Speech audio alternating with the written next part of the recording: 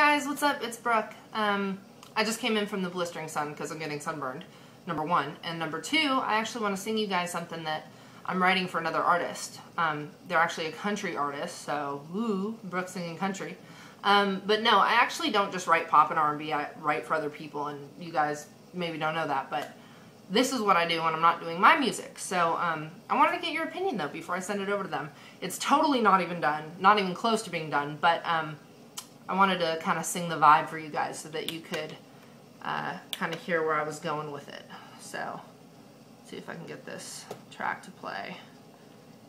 It's called The Way to Break Your Heart. Let me see if it wants to play. Play, play, play, play. Here we are again.